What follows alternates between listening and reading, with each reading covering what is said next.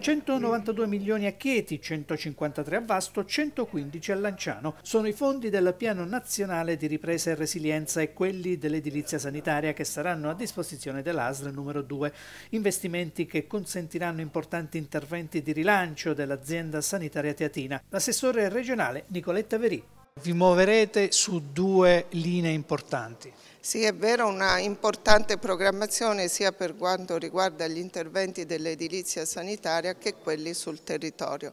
Per quanto riguarda l'edilizia sanitaria avremo la possibilità di realizzare con fondi pubblici nuovi ospedali, Lanciano Vasto e anche il Policlinico di Chieti, tutta la reingegnerizzazione.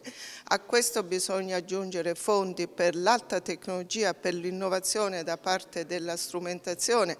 Avremo finalmente la PET fissa presso il Policlinico di Chieti, ma soprattutto una rete importante perché abbiamo dato la possibilità anche di assumere personale e quindi mettere in sicurezza tutti i nostri ospedali.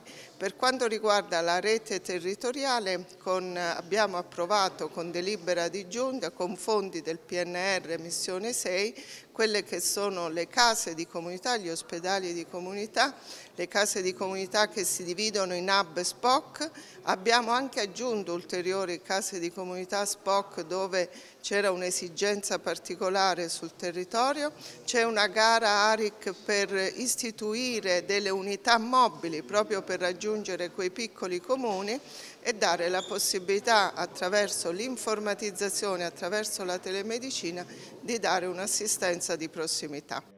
Il cronoprogramma che si è dato alla Regione è il 2026, come sottolinea il Presidente Marco Marsilio. Dopo anni, a volte in alcuni casi decenni, in cui non si investiva più sulla sanità abruzzese, ora arrivano centinaia di milioni da investire, grazie al lavoro che abbiamo fatto per intercettare i fondi dell'edilizia sanitaria, oltre 300 milioni intercettati, a cui si aggiungono quelli dello zooprofilattico, altri 57 più i circa 200 milioni del PNRR sui quali l'Abruzzo sta rispettando tutte le tempistiche, le gare sono partite tutte entro i termini previsti dalle scadenze molto fitte e molto eh, draconiane del, del, PNRR e quindi oggi a Chieti, poi a, Basto e a, poi a Lanciano e Basto, tutta la giornata presentiamo i progetti, i progetti dei nuovi ospedali, i progetti degli interventi sugli ospedali esistenti, i progetti delle case di comunità, della rete territoriale di assistenza che